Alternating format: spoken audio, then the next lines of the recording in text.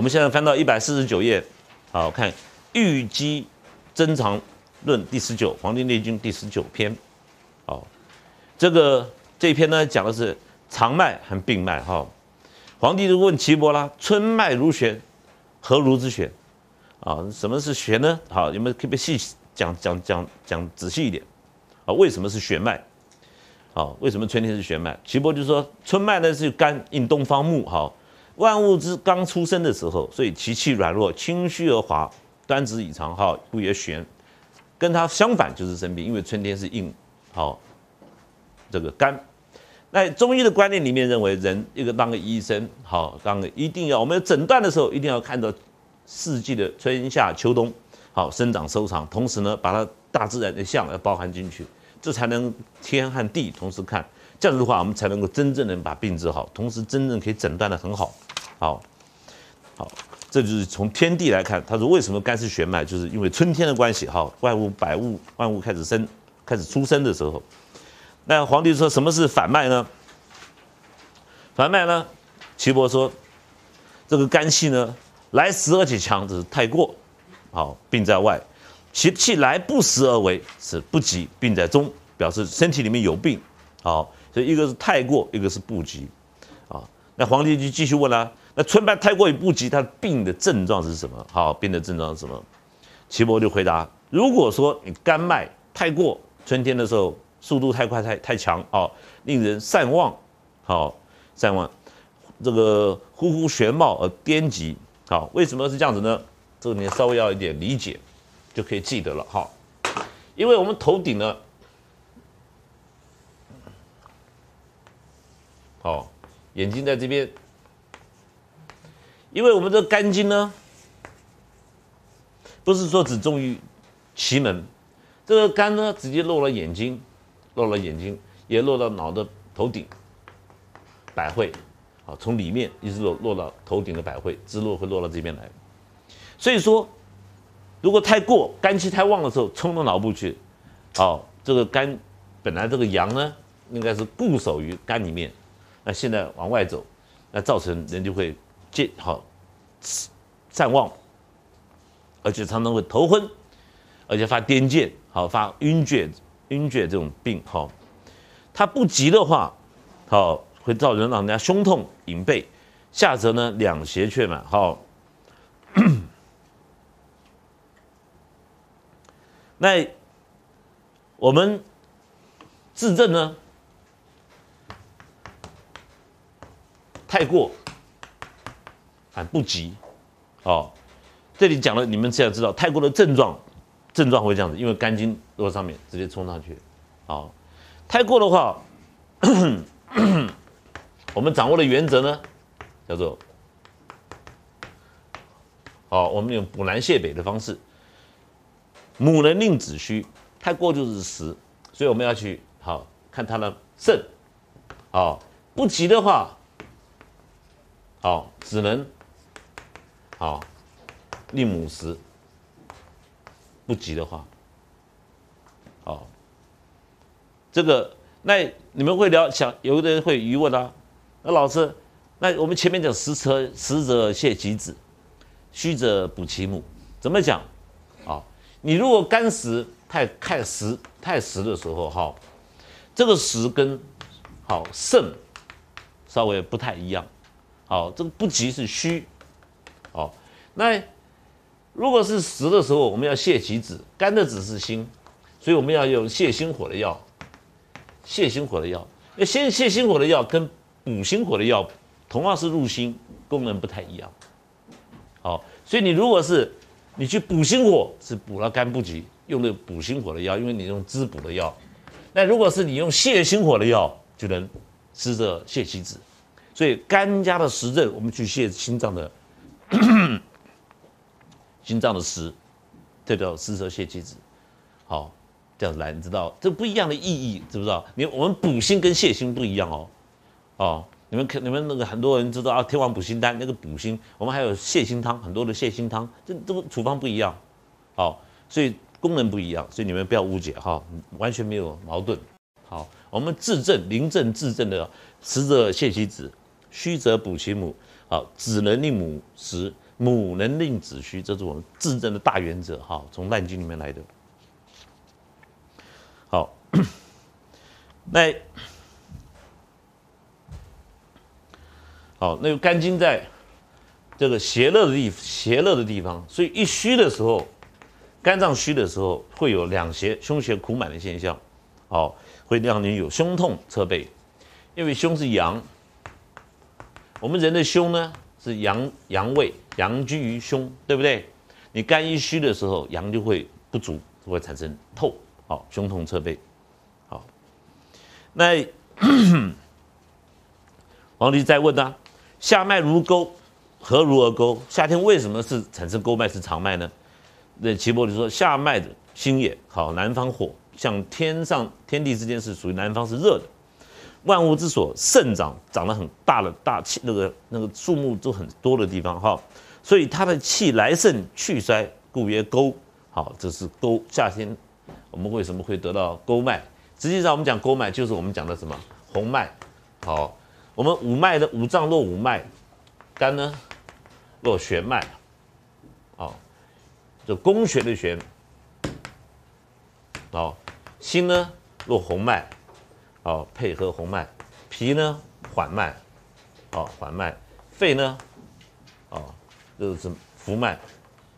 好，肾呢是沉脉，我们叫玄红。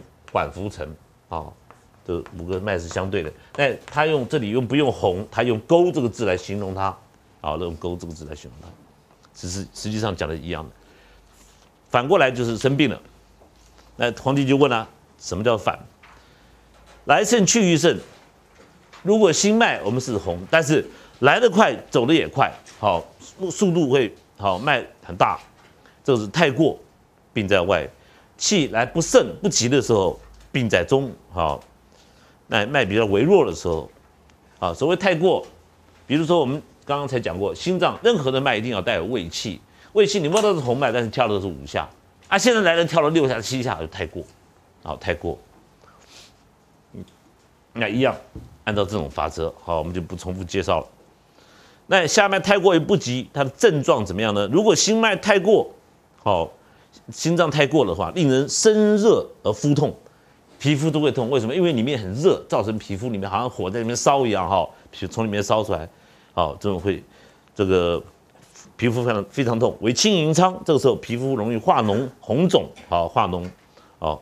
如果不急，则令人烦心，好上见咳垂，下为气泄，好。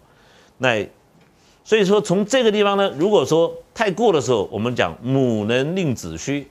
所以我们去治肝的时候，就可以把心脏的实太过的亢亢太亢的降下来，好，才能够降下来。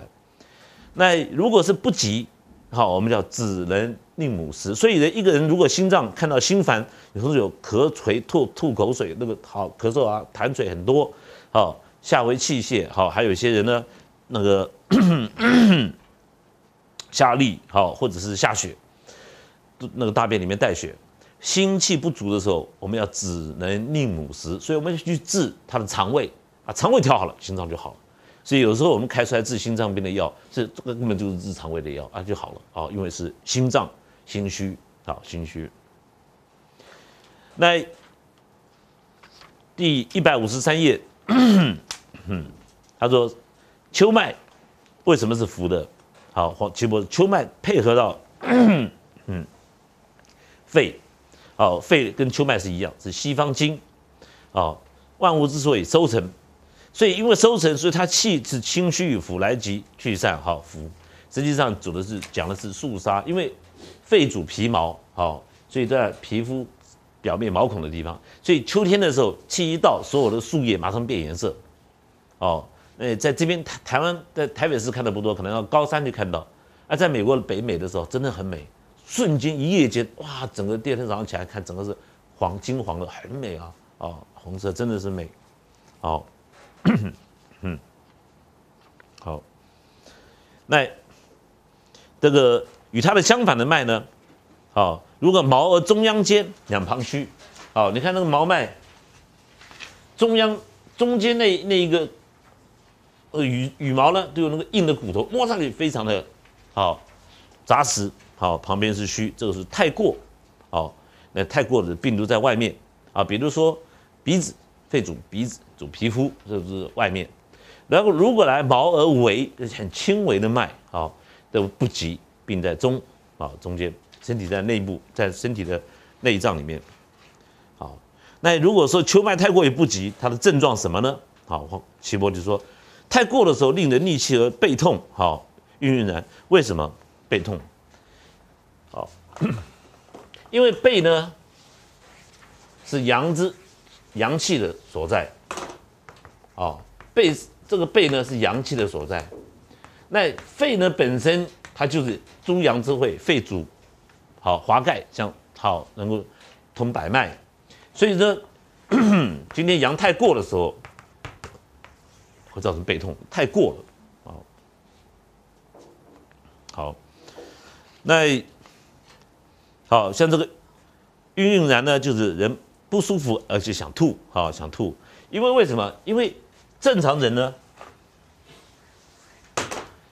常人呢，这个肺气哈，这个肺的气要速降，啊下往下降，啊要下降，应该气正常气要往下走。那像阳太过了，阳冲在上面，当然会有这种哦这个不舒服而且想吐、背痛的现象。如果肺气不急。脉比较虚弱的，好，肺气不急，不急的脉都是比较，比如说一息三至，好，三治，好，这种不急，好，让让肺气不够的时候，病人那个病人会呈现喘，好，呼吸少气而咳，好，上气见血，好，下闻病音，好，就是咳嗽呢会带血出来，好，如果气往下走，病人呢会气喘吁吁，好，气下不去嘛，好，因为肺气虚，我们中医对血。对血的观念，好，什么叫做常人？阳呢能够守，阴呢，啊，才会归经，才会血呢才会在经脉里面不会逆流。那如果阳不守，经脉就开始逆流了。所以阳一定要有，好。那现在肺阳虚啦，阳虚呢，在肺里面的血管，当然阳没有去固守它，没有力量嘛，一咳。就破裂，好血就吐出来。那你看到大肠带血什么很多都是好虚症，好。那中医的观念里面，血呢，咳血吐血，血呢无止法，好，血无止法，你不要想去心里想去止血，不需要，好，你把它阳一调回来，血就自然就停止了，好，所所以出血的时候，千万不是要去止血，尤其内脏出血。好，那那我们又把阳让它回头，血就停掉了。现在有一个病呢，这个肚子好，肚子腹部这边呢，腹腔里面有个西医的一个讲的一个主动脉，砰，突然破掉，破掉以后血一层血块在这边像大气泡一样啊，腹膜会把它包住。那对西医来说，哇，这个是大手术了。好，好发于差不多五十五岁到六十岁中间这个人哈。好发于这个时候，那破掉了这个这个血这个息肉，你不要动，躺那边不能动，等了要整个停来啊。比如是你发生，你把你送到仁爱医院，那仁爱医院是二级医院，不是一级医院，他只有他没有这个医生开这个刀，那病人不能动，要从别的医院找医生过来，在在就在仁爱医院开刀啊。哦，那怕这因为你再再扩散的话不不得了，人就死掉了嘛。那西医就把这个血管切掉，然后换个塑胶血管上去。啊，那病人知道我中间是塑料血管，吓死了。正弯也不敢弯，后仰也不敢仰，生怕脱开来。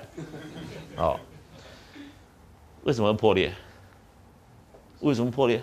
西医不知道，就是破裂了吗？好，寒嘛。你在北方冬天的时候，你晚上水管用完，你晚上忘了把水管里面的水放掉，你隔个晚上水管水管就破掉了，你要去买新的，那个整个爆裂开来，寒里面寒让水管的爆裂掉，只有寒会让血管破裂掉。所以你要把温里寒要去掉，所以我们有很多药去是叫把里寒去掉了，能够让里面热起来的药。那你说老是热起来后血会流的更多，那你错了，反而会止血。哦，这就是南派温病的想法。哎呀，出血了，我给他用那那个那个那个那个寒凉的药，好去止血，你就错了，根本止不了血。好，止不了血。那好，这个冬天的脉啊，如银，如何为银呢？哦，沉啊，沉脉哈。岐伯说，冬天的脉之所以会沉脉，是因为肾脏冬天是主肾脏在管，是肾脏管北方的水哈，万物呢收藏的地方，所以气来沉以薄，好薄就是说有力，沉在骨边，但是很有力，一席四字的五字，好很有力，好有力可以，但是不能有石，像石头一样不行，太硬，好那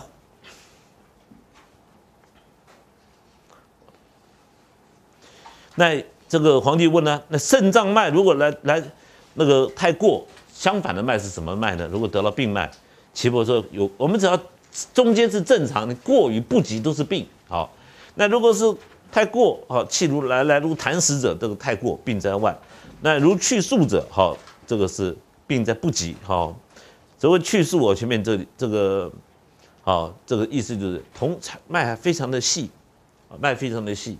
细细小小的，好，那是这个，而且这个我们叫少阴症，以后介绍那个伤寒会讲到，少阴症出现的时候，脉非常的细小，而病人真的就是那个脉啊，非常的细小，一摸，我我我有时候常常，有时候看病人的时候，我我懒得讲话了，病人很多就摸个脉，处方已经开完了，哦，那那病人还没讲，我还没跟你讲啊，对不对？我说好，你就就就听，我就少讲很多话，那实际上你还是要让病人讲完，不然的话，他以为你不知道他怎么回事。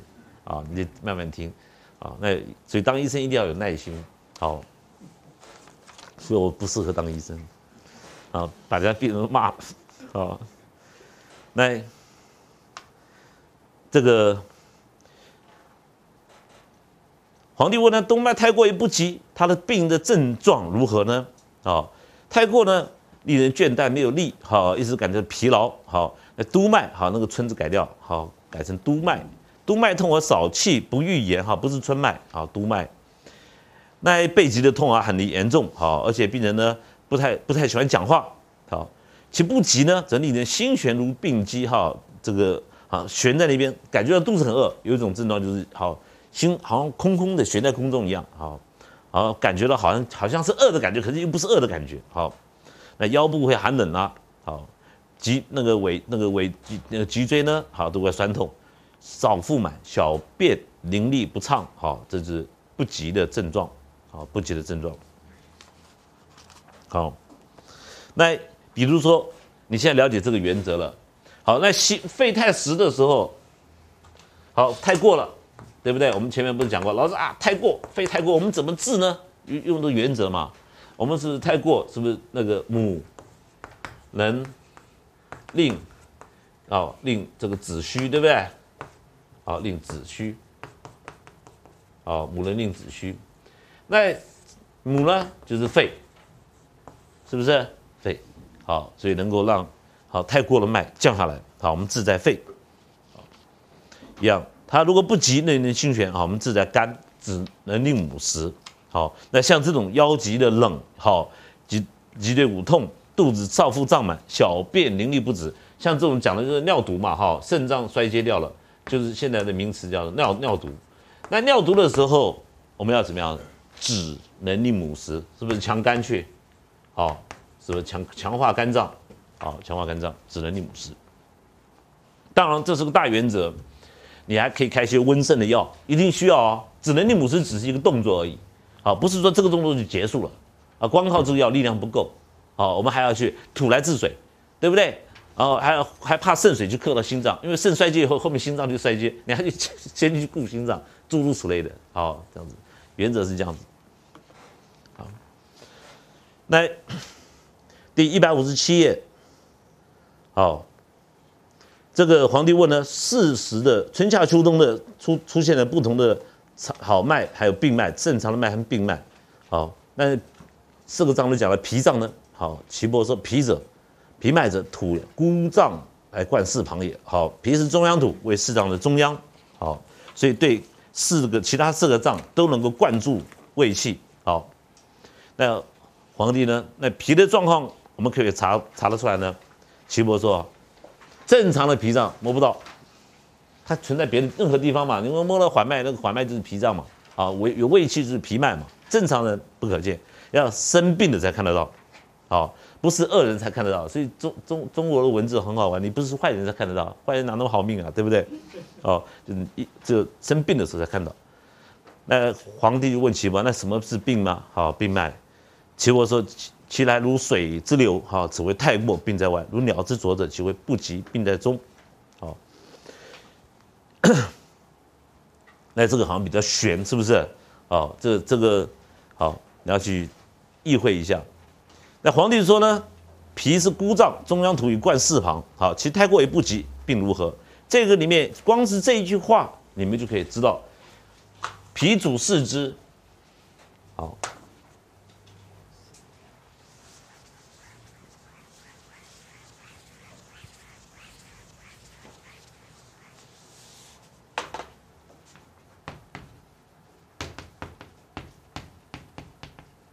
啊，脾主四肢，脾呢主肌肉，脾主少腹，肚子这边啊都是脾脏在管。那它是孤脏，土在中央来贯四旁哈，太过于不及，它的病呢太过的话，令人四肢不举，看到没有？脾主四肢，不及呢，令人九窍不通，这为从强。好，脾脏呢九窍不通，比如说这个哦大小便啊。堵塞啦，病人讲话也没有声音啦，因为脾管五脏嘛，啊，其他的抱歉啊，脾脾是中间的脏，它其他的脏都会影响到，好，会影响到大小便的功能，闭塞不通啊，好，叫做从强的意思就是，好，这个这个字很有意思哈，从强，把重写一下。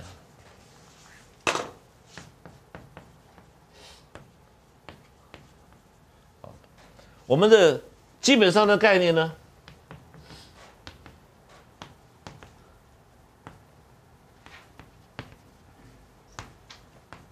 好，好，该进脾肺肾，这个脾我们平常放在这边，而真正摆位置应该摆在中间，好，脾是中央，那这个五脏相辅相成的是正常，互相有拉力，互相有牵制，才能够这个和平相处啊。那如果脾呢一虚的时候，四个脏的一起压下来，那因为脾是土嘛，好像那个水坝一样，突然好需要崩堤的时候，四个脏就会一起压下来，好，这个时候让人九窍不通，这是重强，好几重压力加在一起叫重强，啊，那一百五十九页呢，那皇帝呢就听得很开心啦，好，这个他说天下治数就是五色脉，包括了我们的天地之间的春夏秋冬。啊，魁度和奇恒，道在于一，神转不回呢，回则不转，乃失其机。这一句话很重要。五行的定义就是木生火，火生土，土生金，金生水，一直相生。这个一直循环，循环的方向呢是，你身体一生一世生长收藏，不断长新的东西出来，不断把旧的东西代谢掉。这个循环是一直是这个方向在走，生生不息，永远不停的。不能停的哦，那不能不但不能停下来，还不能回头啊！比如说我现在几岁了啊？我现在我想二十岁，回头到二十岁去，不可能啊！你外面穿二十岁的衣服，你还是这个老头子，对不对？改变不了啊！所以我们人只会往前，不会往后的啊！如果一逆，就是就会出问题。好，所以叫神转不回，回则不转。一回的话，一个东西停到的话，就会影响到其他的问题哈。那乃是奇迹。好，好，废话我们就不翻译了哈。一百六十页呢，五脏受气于所生，传之于所盛，气色于所生，好，死于其所不盛。好，病之且死，必须传其，必传先传情，自其所不盛，病来死。这是讲气的逆逆走，好，气的逆走。什么意思呢？很简单，这样子想哈。比如说，我们心心是火，火去生土，土去生金，这是常平人正常。好，如果心火呢回逆到肝脏上面去，反逆了，逆着走，最后然后再回到肾脏的时候，肾脏本身是水，水是不是克火？所以心脏发生问题的时候，遇到水的时候是最危险的时候。因为它是逆气而走。好，所以如果反乳到肝脏的时候，回到这边的时候，我们就知道后一步就是肾。好，这就是我前面跟诸位讲过，比如说我们治治症，青是脾呢是黄黄色，肺呢是白色，甚至黑色。有一个人来找你看病的时候，脸是青色的，把你然后然后你把它治的时候啊，慢慢变成红色，红色再变成黄色啊。慢慢慢慢转黄白之间，这种就好了，对不对？结果呢，你去治它青色，就这个一个礼拜以后来了变黑色，再一个礼拜就变成白色死掉了。为什么？因为肺克好，金克木，这就是治症。所以旺也可以知道，循环就这个意思。哦，啊，所以说连连那个颜色不可以倒着走。哈，我们每年一年四季都是往前走的。好，汽车都是这样循环的。你如果逆的就就不行了。好。所以冬天我看到你们，你看大然面，我们这边没有什么红光满面的，很好。哦，一看到红光满面的，就是有问题。好，要要有点暗。好，那 就这这段就这个意思。好，死于其所不胜嘛。好，心脏的死于其所不胜，就是肾脏在冬天的时候死于心脏的人，心脏病的人最多。好。所以病之且死，必先传其行其所不胜，哈，病来死，啊，这是言气的逆行，好，气的逆行就这个意思。你看到文字很多，实际上就这个意思，啊，那肝受气于心，传之于脾，这是常态嘛，好，但是如果气反逆，气摄于肾，肾在气在逆到肺去，肺是金，那金克木嘛，肝是木，那就是死了，好。心呢受气于脾，传之于肺。好，木火生土，土生金。那如果心的气呢，气色反射于回头射于肝，然后再传到肾就死掉了。好，水火不容。好，那脾受于肺，传之于肾，气色于心。哈，这就是这个这个都是这个脾传于好于于肺，好传之于肾都是正常。那脾的脾脏的气如果回逆到心里面，好再回到肝脏，啊木克土那就死掉了。好，这一段讲的就是这个意思。好。那这一段最后一句话，最后一段哈，一日一夜五分之，此所以占死生之早木也。哈，这里呢，我们有五分。那老师不对啊，一天十二个时辰，怎么五分呢？对不对？分也分不出来，除也除不尽啊。好，那有的人学中医的时候，很讨厌看到干支啊，那还还没办法，还是要给你点干支的观念。好，如果我们画个图。好，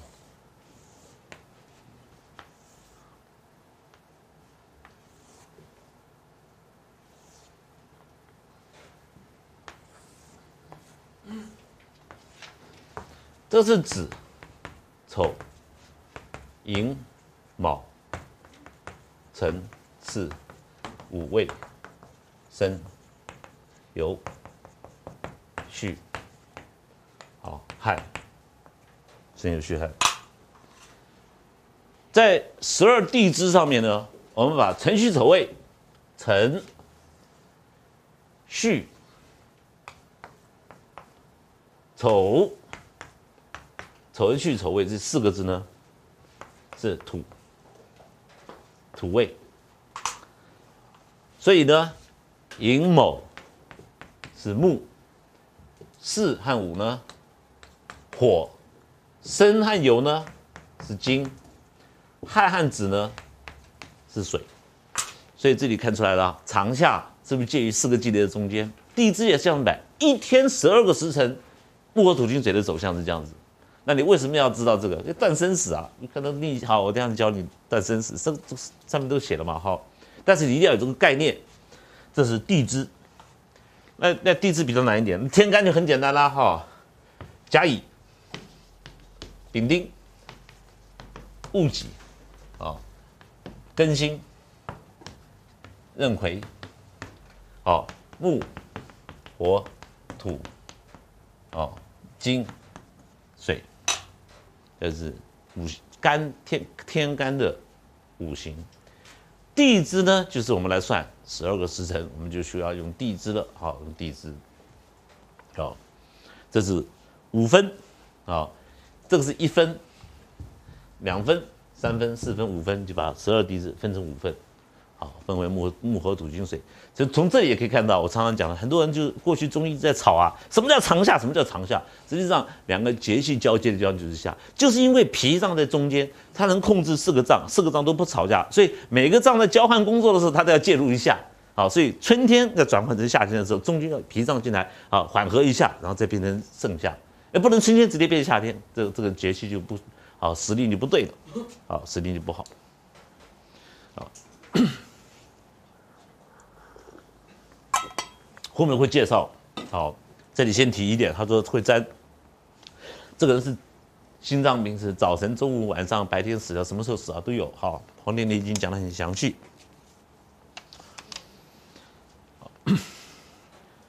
一百六十一页，好，皇帝说五脏相通，一次皆有次，对吧？五脏有病，这怪各传其所胜，不治法三月，好，若治，好，若三日，好，若六日，传五脏而当死，是好传。顺传所胜之次，故曰：别于阳者之病来，别于阴者之死生之期。哈，这个什么意思？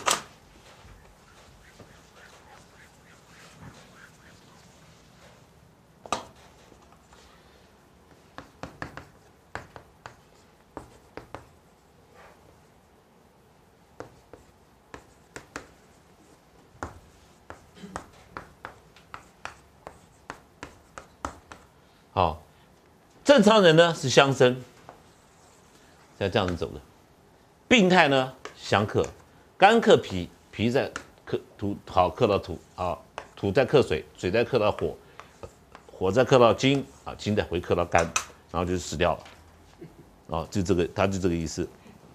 所以相克呢，好出现的时候，如果说肝有问题，我们先治在健脾，好先实脾，这个时候病就不会再传了。好，就是因为为什么？就是因为五行才相克的关系。那如果说我们已经脾到来不及来不及守住了，等我们看到病人的时候，脾已经被被肝做掉了，那我们只好去健肾、食肾，对不对？那如果还碰到肾脏了，没办法了，我们就赶快去健心。那心还没有，只剩一一口气了，碰到我们了，好，那就很累，对不对？已经四个没了，只剩一个。好，我们常常会碰到，好，常常会碰到。好，那个时候到这个时候，你只有一次机会。啊，处方一一次机会错就没了，一条命就没了。好，所以就是病人赶快早早点早点的时候，我们看，既然现在相信我，为什么当初不相信我？对不对？好，所以刚开始生病呢，好就治治好就很简单。好，那相传到五脏的话，五脏都传，就是五脏传完了相克，那就死掉了。好，所以说我们说别于阳者，好治病从来，就是我们查阳，好阳气。阳气的变化，我们就可以知道病从何而生。查好这个阴气的别于阴者，阴的变化的时候，我们可以知死生之期。好，死的生，好，什么时候会死，什么时候会生？好，好，所以是言之其，好所困而死。好，就是因为我们知道他内脏他的病所克的时间呢，我们就知道他什么时候出问题。啊，什么时候会走人？好，这是相克的。那的病传前面就讲，有的人三个月，有的人传六个月，有的人传三天、六天都不一样的哈。后面会有慢慢分析细分下来哈。黄帝内经就是这样子，前面先给你一个大原则，后面就慢慢给你细调了。那这个呢，刚刚讲一日一夜五分，它的我我就这里五分法。那那这到底五分到底有什么用？还没讲，因为后面还会有。好，我现在讲了，后面就不用看了。黄帝内经就是这样，它由浅入深，一个一个进去，好，一个带大家注入进入到中心点。所以说，一刚开始呢，是故风者百病之长。春天的时候，最好受于风最大，第一个伤到伤伤到就是肝脏，它是百病之首，好病的源头。我们所谓病的源头，中医认为说有三种，第一个是外来的，第一个就是风，好，第二个是内发的，你的喜怒忧思悲恐，一天到晚害怕，你越怕死死的越快，因为会伤到人，人的精神会受，啊，还有一个就是外伤嘛，好外伤。来，如果说哦，风寒克于人，好，就是刚开始风寒进来的时候，已经在皮肤表症。这里张那个张仲景就看了，嗯，这就是太阳症嘛，对不对？你看我以后讲太阳症，我就要写上去哈，使人毫毛闭之，毛发都立正起来，为什么？因为感受风寒嘛，好，汗汗毛都立起来了。好，那皮肤闭而为热，也就是说，刚受到表风的时候，表不管是风还是寒。那你一下毛孔就闭塞起来了，因为你人人很人的阳很敏感嘛，这么弄这个东西不该进入我身体，来影响到我，一感受到这个风寒的时候，毛孔马上就闭起来。啊，人毛毛孔闭起来实际上是一种自保的一种东西，但是你一一个闭起来，要是身体里面的热发不出去了，所以会出现热，好，身体会发生产生热的现象。所以热不是说，哎，我们身体赢过感冒了，不是这个意思，就是自然而然爆发的一种动作，哈，一种抵抗的动作。当世之时呢，可以汗而发之，所以中医的汗解法源自这里。好，秦婆说可以汗解。那我们用汗法的时候，一定是汗法，好，那我们也会有些这个汗药，就是吃下去会发汗，啊，我们不用蒙汗药，你不要把那个混在一起，武侠小说看起来都不行哈，那不是那个蒙汗药，就是发表发表的药。那发表药用在什么时候呢？太阳正，对不对？现在就写了，风寒刚刚好到皮肤表面的时候，汗毛立正的，毛孔缩起来里面热，这个都是很好汗解，一进就去掉，好，可汗而发之，好。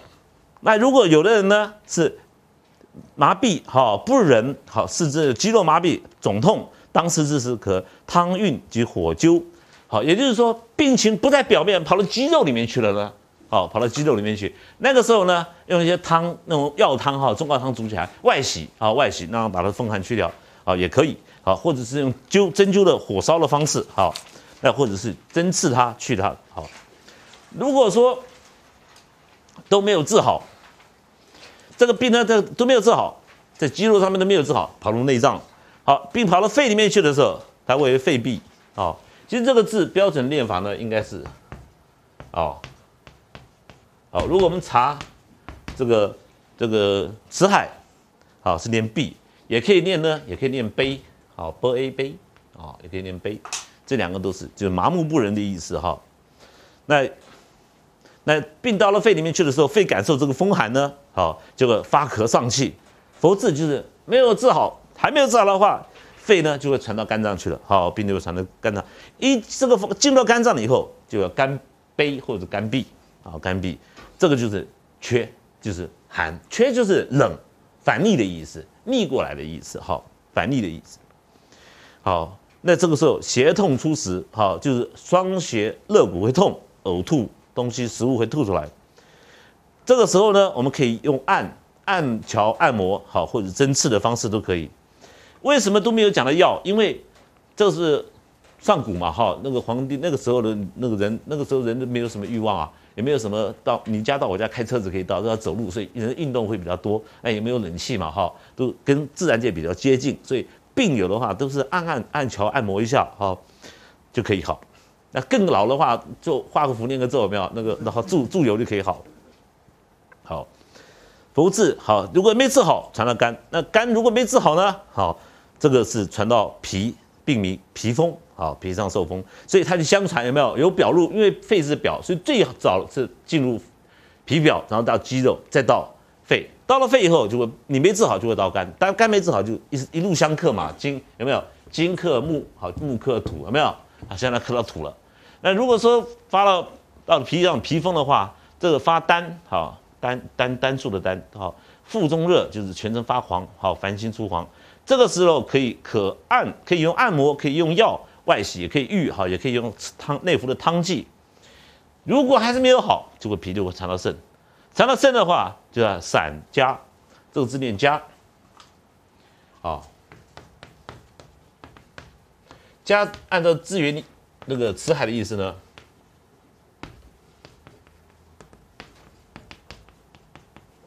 好，肚子腹中有积，我们称为家。然后这个丹呢，就是黄发黄哈。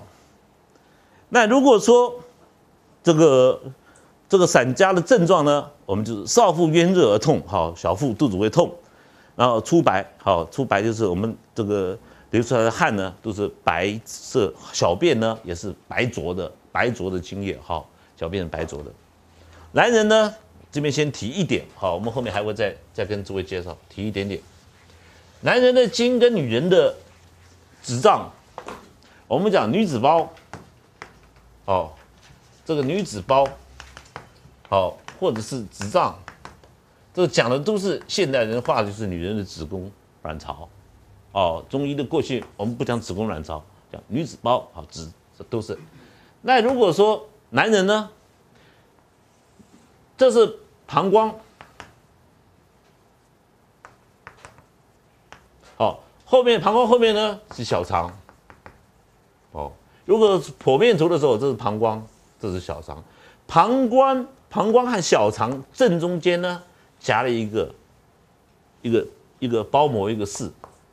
那这个是三焦的，啊，一个包膜，因为它这个只是一个膜，中间一个缝而已，哈，好像两片膜在一起。那这个才是人生精的地方，男人生精的地方。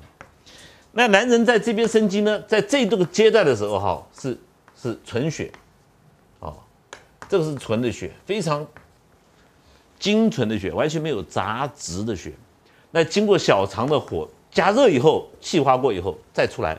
才会变成白色的精，所以在女人呢，那个子宫卵巢在这跟膀胱哈小肠位置，刚好女人的女人的子宫卵巢的位置就是男人的精包精宫的位置，哦，在这个位置。那西医呢解剖人的时候一切一看，因为人死掉了嘛，他他看不到中，这个就是一个一个薄膜一样，还没想到就是金的地方，那只有在睾丸里面找到一些精子在里面，哦，那就好吧，那就是睾丸生精嘛。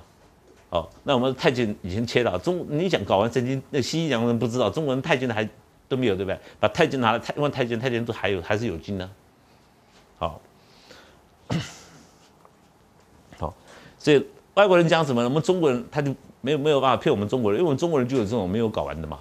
好，好，很很对吧？你他怎么办，对不对？好，好，这刚好碰到我们中国人，我们什么都有啊。少妇这个白金珠，好就是。小便会白浊，一名骨，哈，当这个也叫做骨。当这个时候病在肾脏的时候，我们可以吃，可以按摩，好推拿，这个我们所谓的按按穴道推拿或者吃药。如果还是治不好，从肺传到心脏去了，好，并经脉相引及病名曰细，这个字念细，好，那这个时候可灸可药，如果不治，满十天。没有治就死掉，因为已经到底了，有没有？从肺经刻到木木，那肝木再刻到脾土，脾土再刻到肾水，肾水再回到刻到心脏，有十天的机会。所以，我们我们治疗呢，就是那好以后，你看前面有提过，十天就可以晓得，好，十天就可以晓得。那好命跟歹命就这个时候出现了，好，好命跟歹命。那如果说我们我们现在的治症刚好。十天后是天地气要开交交接交接的时候，在十天以内，天地气正要开接的时候，它就是阳不够了，没有阳了啊。那我们这时候处方一下去，刚好配合那个药力跟天地正好要进入冬至，对不对？好，那刚好碰到，那是好命啊。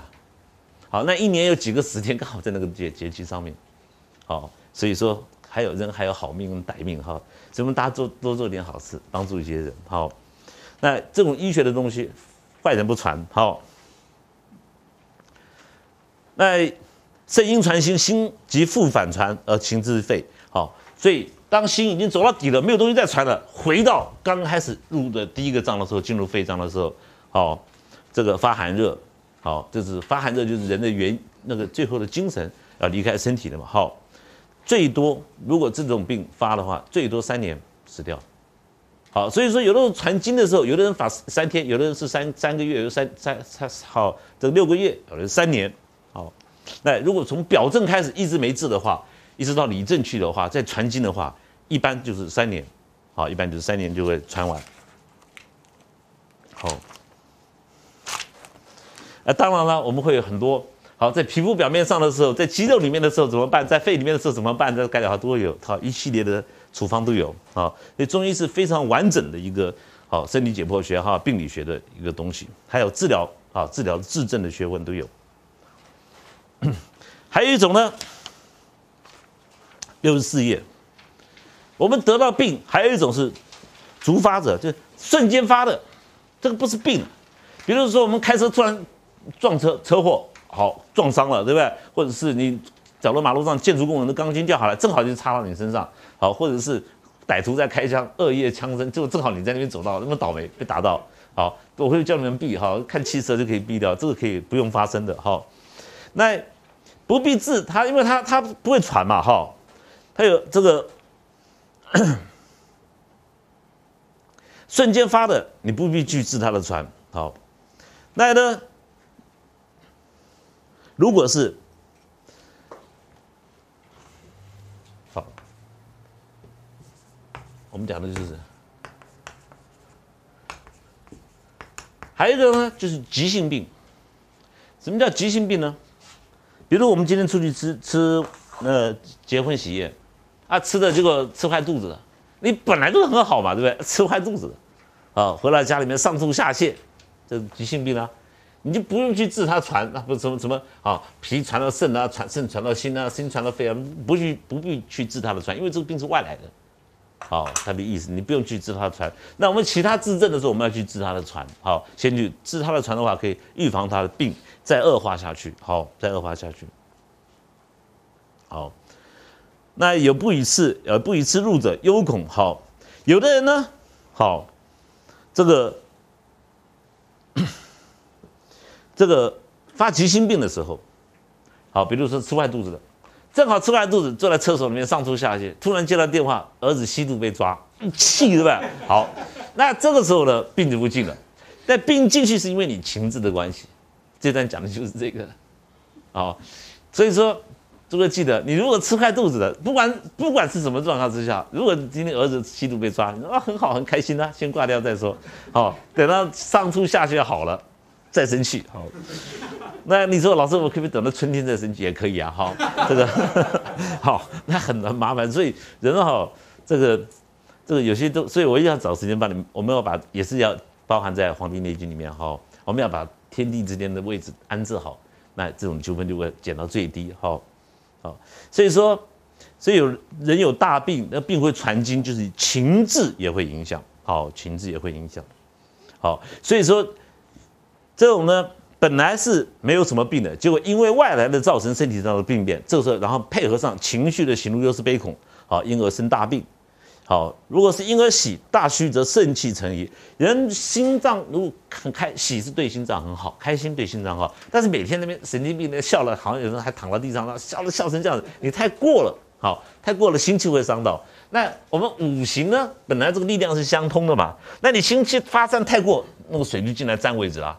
这两个是五个力量是拉扯的，很好的，很平均的才对。好，那这个太过了，这个就会蹭位的，蹭它的位置。好，这这个意思。好，那如果怒气，怒则肝气沉，哈，生气，好就会伤到悲呢，肺气沉，哈，所以这个情志都不好。恐呢，脾气沉，忧则心气沉，这是它的道理。好，所以病呢有五种，五二十五变，其传化传承之名，哈。一个脏，它有五种变化啊，因为受到其他的克，呃，五个脏五就二十五种，哈，就是其他喜怒忧思悲恐啊，好，这个受到这个影响。那大骨枯槁，大肉下陷，好，这什么意思？你们不用去记，你只要想一个字，我们前面讲过了，这个人行伤，啊，如果今天有人跟我说，老师，我这个病人哈。这个这个体重瞬间掉了二十几公斤，行伤已经讲完了，对不对？你不用去记啊啊，这个大骨枯槁，来我看看他的骨头怎么样，对不对？他看看他的肉消了没有？没有，这少已经跟你讲了嘛，他少了二十几磅，或者一瞬间一个礼拜少掉了，好，大肉下陷，好，胸中气满，喘息好不便，胸中气满的时候，因为气伤到胸中呢，好，我一直重复讲这个，你就会记起来，好。我们讲胸中的时候，就是阳气之位嘛，阳在胸中，好，阳气的位位置，好，阳气之位，阳在胸中。那胸满，好，脏气，好，气伤到，一个是形伤，一个是气伤，好，造成喘息不便，其气动行，哎，不，六个月就死，六个月就死掉了，哈。所以，我们人的形伤气在就没有关系，好，你如果气伤形在都好，形气两伤就是好，寿命就不长了。因为我们人讲的就是阴阳嘛，人的形就是阴，你的外形就是你的阴，哦，你的动能就是你的阳，哦，那形伤到了，阴伤到了，那胸又满，阳气又伤到，啊，这个阴阳两伤，好，这都很危险的。好，那如果增胀脉线，那时间更快了哈。那如果说是同样是行伤，好，但是胸中气满也是一样啊，喘息不便，内痛引肩项，好，这个一个月就死掉，哦，到肩项这边痛到肩项那边，就阳气伤的越来越严重的时候，他就会开始痛，好，哎，死的会更更快，好，一个月就死掉。如果是再见到真脏脉，就算日子了啊，真脏脉的话，就算日子就可以算出来几岁死。还有人呢，行伤哈，也是大骨枯垮、大肉下陷，都是行伤嘛。胸中气满也是阳气伤，便好喘息不便，内痛引肩，身热脱肉破困哈，肌肉也消失掉了，真脏线十月之内死。好，你说老师这个怎么看起来好像比前面的哦寿命好像比较还还看起来比较严重点，寿命比较还比较长一点哈？这里就是有疑问的地方。你们没有错，如果你这样想法完全没有错，因为《内经》《黄帝内经》这种东西，它当初的原文哈就是。很很讨厌，哈，所以你你要记得，如果是阴阳两伤的时候，好，我们就可以算月。真脏脉一线，的数日子了。好，那数到哪一天，我们后面还会讲。你黄历拿出来一看，哪一天就知道哦，速度就那么快啊。那个哪天是今日，他就死，那是这个金克木啊，那个刚好肝有问题就死在今日啊。今日里面还有一个这个这个金克木，那今日的金石啊，生瘤的死死掉了啊，诸诸如此类的，速度很快的。啊，我们可以马上可以推算出来。好，好，这个，那我们我们休息一下，我们待会再讲这个。好，下一节。好，看一百六十四页，好，中间那边哈，中间那边，他说这个大骨枯槁，十好大肉下陷，肩髓内消，动作易衰，征脏来见，其一岁而死。这个。内消骨髓好，脾这动作易衰，就是如果骨髓内消的时候，你就看到这个人皮跟骨是相连的，几乎根本没有肉，你摸了这这看那个骷髅，全身一个骷髅一样。好，动作易衰，好，这个这个征脏来见，其一岁。好，那至于我跟你讲，绝对不是一岁那么久。好，那我我刚刚讲过，《黄帝内经》呢太久了，好，有些编辑上会有问题。那编成这样，我们只好讲先这样讲，实际上可能有几天后就死掉了。见其征兆，乃于乃于之其日哈，征兆脉线就可以看看日子了哈。那一个一个病人行伤，再加上胸中气满、腹内痛、心中不便，好，这个肩项生热，好，破困脱肉，好，肌肉好，目眶都下陷了。这个目眶呢，就是胃气、阳明胃经的地方，好，目眶下陷了，胃泄没了，征兆脉线，目不见人。就是眼睛已经不是人了，好看不认不得人，认不得你的亲人，好不是亲疏了，就是阴阳都衰弱了，神又离开了，这个马上就死掉了，好，好，如果还有看世人的能力，好，但是阴阳呢，好都已经失掉了，就好像骨头啊皮包骨了，哈，这个时候也是会死的，就算是能够看到人，也是会死的，哈。那死的时候，一般在地支生克的时间。好，待会我们再介绍这个，讲完再介绍。好，如果是急需身中好足滞，五脏闭绝，脉道不通，气不往来。好，比如说，好你掉到水里面去，或者从高处坠下，好发生这种事情，五脏一下子闭掉，本来没有病的，突然发生这个意外，好造成脉道不通，五脏闭绝。那这种好这个意外的伤害造成的呢？好，如果是脉通通不来了，摸到脉也没有了。好，如果说一人呢，这个人一袭五六字，行肉不脱，真脏脉虽不见，也是一样，他会死掉。哈，就是这个我们讲意外，意外横祸发生的时候，如果是脉道不通，五脏绝闭的时候，一样。好，就算他的脉来或者是来不来，或者是行都有，好，还是会死掉。所以这个。意外伤害，西医还可以，为什么？因为西医是看形，看形啊，看你 X 光骨伤啊怎么样？因为那个是 injury，那个是受伤，那不是真正的病。好，西医急救这个方面做的相当不错。好，那我们讲一天哪一天会哪一个时辰会死，就是根据这个来的。比如说你是肝病，哦，那肝病的人呢，那在今的日真的时辰容易出事。啊，这个日日那个日子的一天的十二个时辰呢，也有木火土金水的相克的时间哈，就是从这个图上面来的。我们是五分法。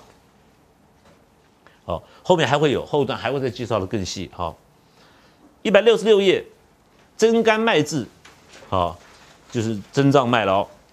中外急，你摸它的脉，什么叫中脉？中外急，哈，这手脉，好，这是关，寸，是。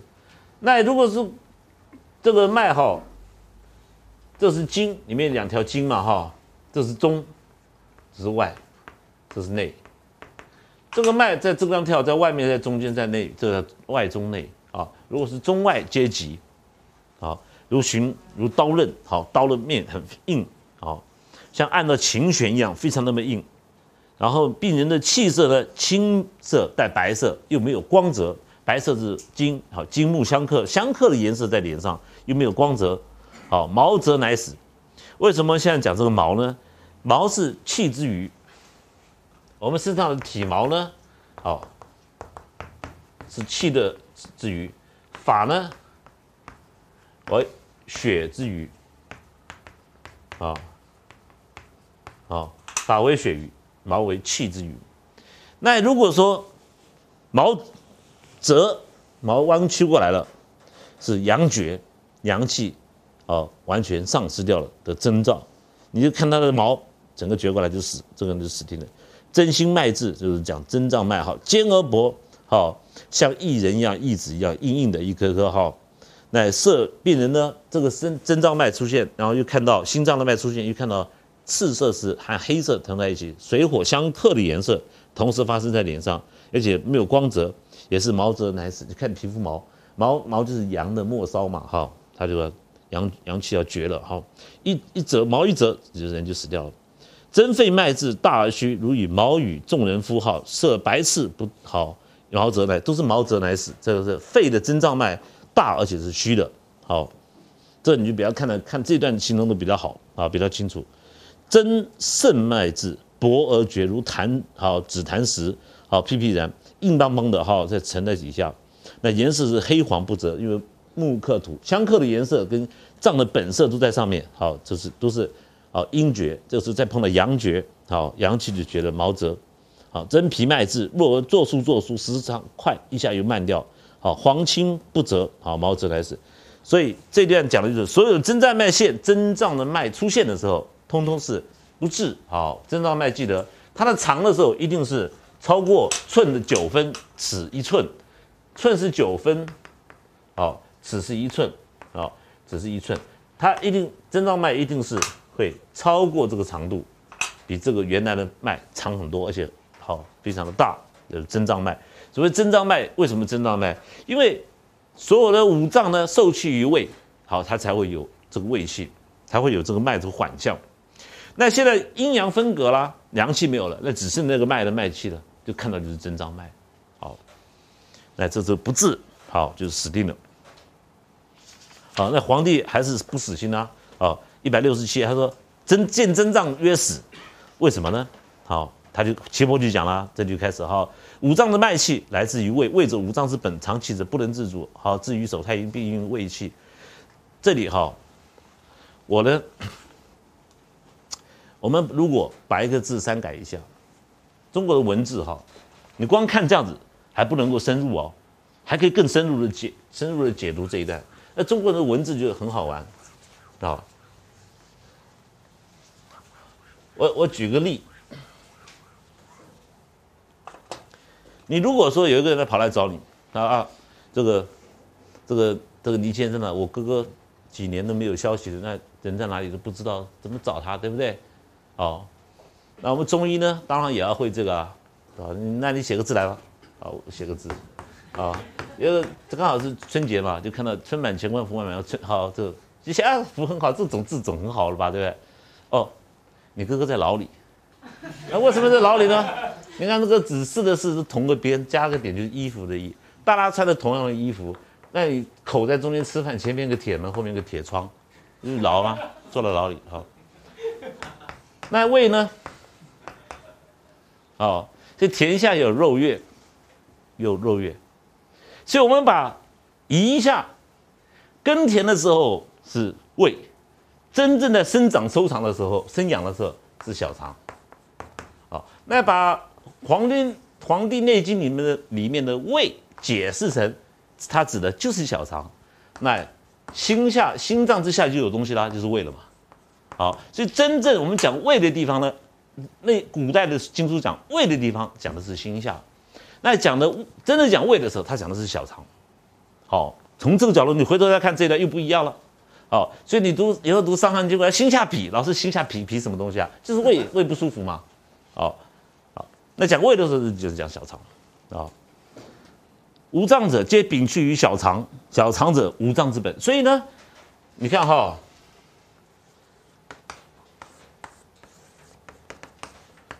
小肠在这边，小肠是我们所谓的受盛之官。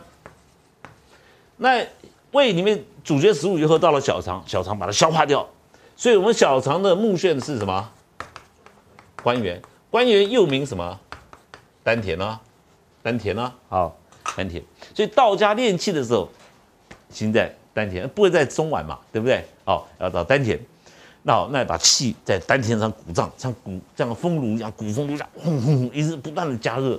好，所以小肠这个地方才是人的生命的中枢，在这个地方。好，当你把它改成这样子的时候，好，小肠是五脏的本。所以呢，现代人有的人胃有问题，把它切掉三分之二或三分之一，或有的人整个胃拿掉，还还还没有死嘛？哦，还还可以活一段时间。当然是不用拿了哈，哦，不用拿。那小肠就不能拿。就你听过人家切胃，很少听到过人家拿小肠，你小肠不能拿，啊，拿了就死。好，脏气者不能自治于手太阴，五脏的气它自己不会跑到手太阴、肺经那边去了。好，一定必因于胃气乃至于手太阴，因为有胃气。才会到手太阴。为什么胃气小肠的气呢？就是我前面已经介绍过你，小肠呢，都是大肠。食物消化过以后，食物里面的水，食物里面的水进入大肠的时候，这个水就小肠在下面火在烧，大肠是金，火克金，里面的水就回到肺里面去。这个从小大肠里面的水，因为小肠的。蒸化以后进入肺，这个水呢会直接进入我们的血液里面，血液系统里面去，啊，血管的系统里面去。那我们饮喝水，你真的喝了柠檬汁，喝了什么白开水下去到真正的胃里面去的时候，哈，它是脾胃，脾胃是土嘛，哈，你一喝下去收吸收掉了，吸收掉以后就到全身肌肉去了。所以你如果是运动跑步啊，好那个那个流了很多汗，对不对？一流了很多汗，那个汗是脾胃的津液，这个时候你就要去。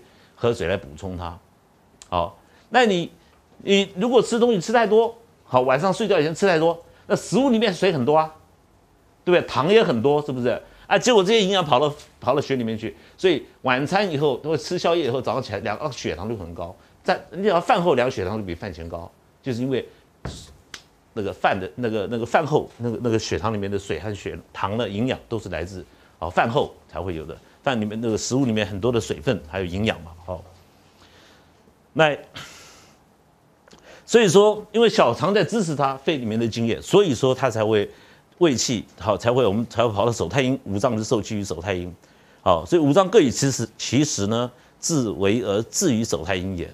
所以说邪气盛则精气衰，所以病盛者胃气不能与之同时到达手上面去，所以我们就可以看到真脏的脉。哦，所以当我们那个脏生病的时候，胃气阻绝了，它没有办法去去供应它，只有脏脉出现，啊，就会在手上看到。所以说，真脏脉会死，就是胃气没有了，哦，小肠不受不受纳了，哦，不受纳。好，好，所以说现在开始，从这一段呢，下面你把以后读古书呢，把胃当成肠子，好。心下当成胃，再去看，那就更深入了。好，一百六十八页，好，第一那个皇帝皇帝说，正治病我们要治病，要查他的形气色泽，好，病人的外形，他的气够不够，他的还有脉好颜色，脉的盛衰，这个是好，我们可以知道啊，这个是心病，好，以致此之心故是心病和旧病。我们来治好，所以说我们可以查这个是老病、成年老病还是刚发的病，我们从行色气脉，好，记者都都通通通可以看到，好，好，无后其时，行气相得，谓之可治，就是不要失掉时机，好，如果这个新病啊、旧病，哈，我们有治的治的方方法的法则，好，看到新病赶快就下手，好，那你就不会成为重病。那色则以服，一般来说，皮肤上这个病脉的颜色都浮在皮肤比较浅。好，这种病是最好治的，就在很表面嘛。好，脉跟事实，病人生病了，可是脉是顺从事实的。比如说你是春天得到夏天的脉，或者春天得到冬天的脉，是顺脉。好，那这种病都是很好治的。好，胃气来看，这就开始讲了，什么叫胃气的脉？脉弱以滑，有没有很缓？不是弱，不是说完全没有力，是很有很柔。好，很有，好是那个那个一席是五字。好，四字到五字，这是胃气。只要有胃气的脉，都是好治的。好，如果是行气相失，外形丧失的，不管是过胖，或者是好，有的人跑来胖的根本不是是水肿，那有的是太瘦，形气伤掉了，再加上气没有了，好，呼吸很短，因为胸阳嘛，胸是诸阳的地方，我们要我们要判断他阳气够不够，看他喘气咳嗽就知道。好，那。如果是色腰不泽，颜色失掉了，好不光泽，好就是比较难治的哈。难治不是它不治哈，齐伯很多地方说的不治，那真的是不治。难治是还可以治，比较难就是了。好，脉实以坚，谓之益肾。好，脉太实了，太坚强了。如果脉反逆事实呢，就是都是不可治哈，不好治。好，所以必查四难而明告之，就是你要跟病人查到以后，比如说你摸到病人这个是。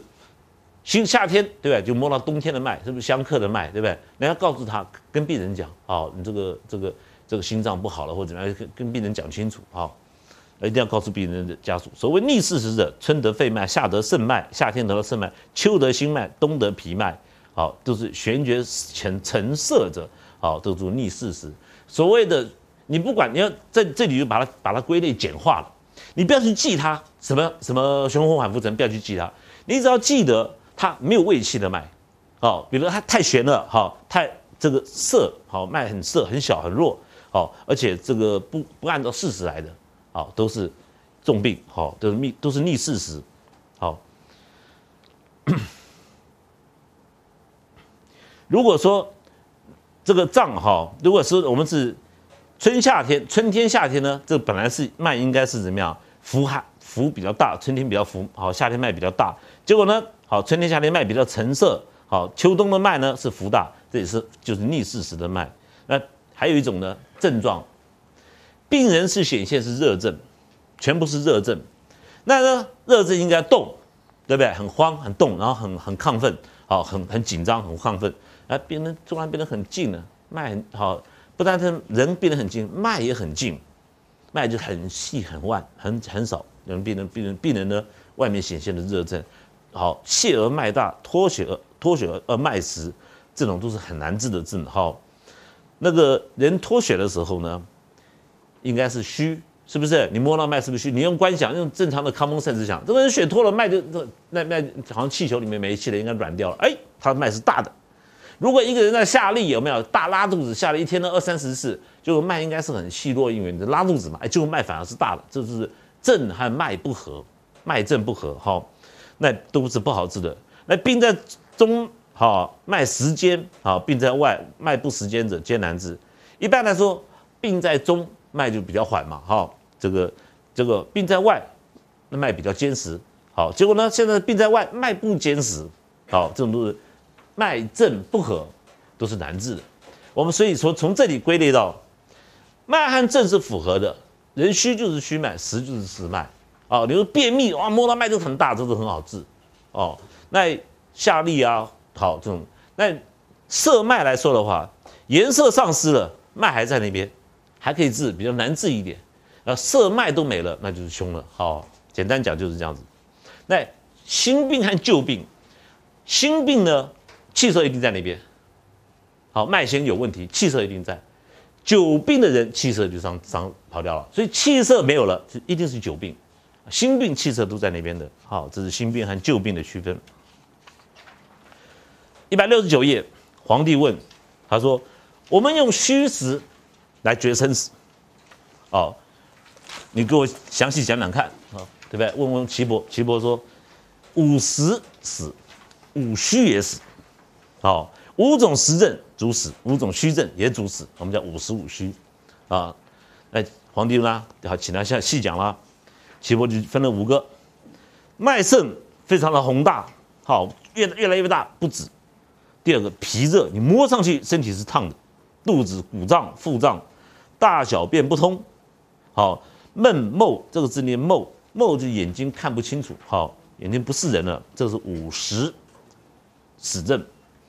脉细，脾寒，摸到皮是冰冷的，脉又很细，气又很少，呼吸很短，好，不太讲话。泄力前后，且大小便失精，饮食又进不去。到底说你如果大小便失精，然后应该要吃东西进去，还是吃不进去？这是五虚。好，所以我们常常会问人家胃口，大小便这个这个，我一直老那个那个那个，我一直在下痢啊，医生，你那听那个电话，那病人讲的很大声，我一直下痢怎么办？那这个对不对？这里没有问题。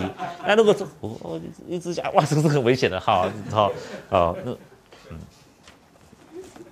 所以你要听好听啊，看就会看多就会了。五实五虚，好，这个是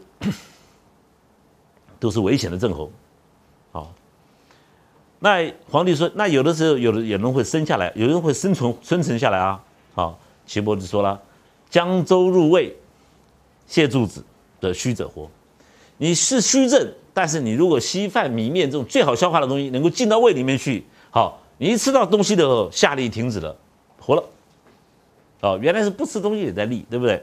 好，还有如果是阳生汗得后利，好，则死者活，指其喉也。好，我们如果说这个五十十五十的症状，皮肤毛孔闭住啦，我们如果发汗，一汗一解掉，好，病人就啊精神都恢复，得快好，这个大便大小便都通畅，原来是石柱嘛，大小便。